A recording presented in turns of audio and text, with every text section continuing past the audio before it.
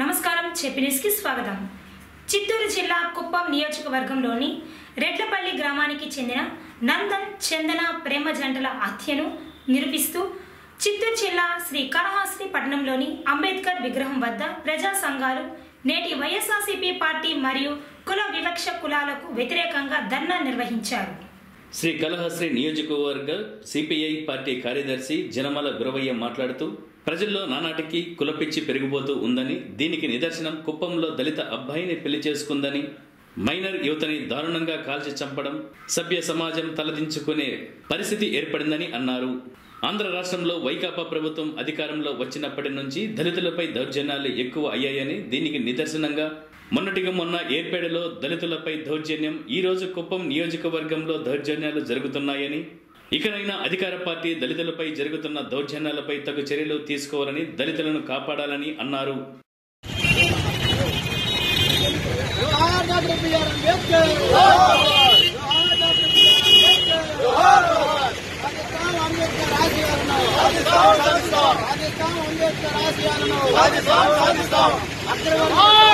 అంబేద్కర్ అగ్రవాల దాడి వెంటనే. అగ్రవాల దాడిని వెంటనే. ఎస్సీ ఎస్టీల పైన అగ్రవాల దాడిని వెంటనే. Jawahar B R Ambedkar. Jawahar B R Ambedkar. Ambedkar ఆశయాలను. అంబేద్కర్ ఆశయాలను. Jawahar B R Ambedkar. Jawahar B R Ambedkar పలు హత్యలను పలు హత్యలను కారణమైన వారికి కఠినమైన శిక్షలు కారణమైన వారికి అరికట్టాలి పలు హత్యలను అరికట్టాలి పలు హత్యలను ఈ రాష్ట్రంలో వైఎస్ఆర్సీపీ పార్టీ అధికారంలోకి వచ్చిన తర్వాత దళితులపైన విపరీతమైనటువంటి దాడులు జరుగుతూ ఉన్నాయి. దానిలో భాగంగా మొన్న ఏర్పేడు మండలంలో సంఘటన జరిగింది.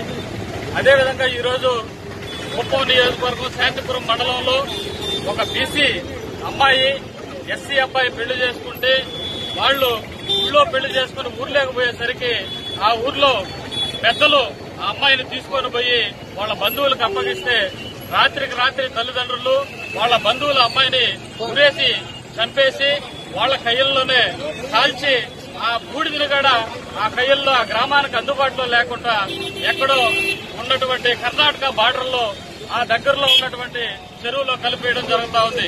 ఇది పరువు హత్యలుగా మేము కుల సంఘాలుగా ఖండిస్తా ఉన్నాం.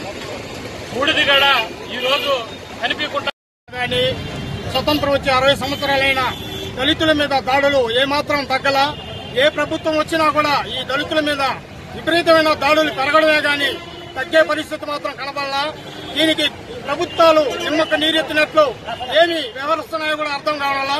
కోర్టులు కానీ చట్టాలు కానీ అలాగనే ప్రవర్తిస్తున్నాయి. ఈరోజు దేశంలో కూడా రాష్ట్రంలో కూడా విపరీతమైన దాడులకు పాల్గొంటున్న ఈ అగ్రవర్ణాలని వీళ్ళు ఎంతవరకు అరికట్టగలుగుతారు? కట్టి కలిగినారు కూడా అర్థం కావడం లేదు. దీనికోసం అన్ని ప్రజా సంఘాలు అన్ని కులంతర సంఘాలు అన్ని కూడా దీని మీద ఏకతాటి